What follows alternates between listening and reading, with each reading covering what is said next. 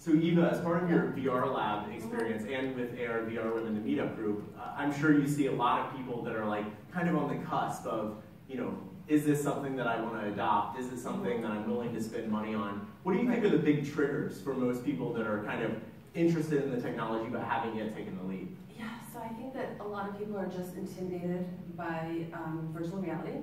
What I found. Um, and the industry is so fragmented that they don't really know how to enter virtual reality. So what I found is that this is the entry point for virtual reality, is the iPhone. And um, you know, all you need is this inexpensive little viewer um, to view virtual reality. And with this, this is like an appetizer. So you can basically see if you even want to have the desire to do virtual reality.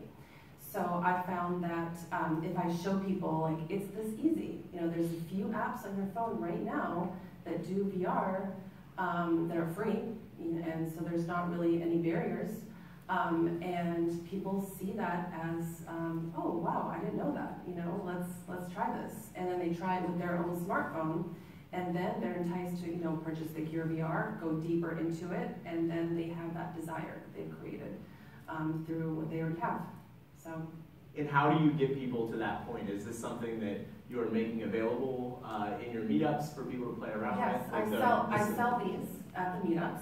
And um, you know, I partner with hardware partners like Homido, um, you know, and basically just educate people because um, you know they need to be kind of shown and guided. And what I've also found is that virtual reality needs an operator.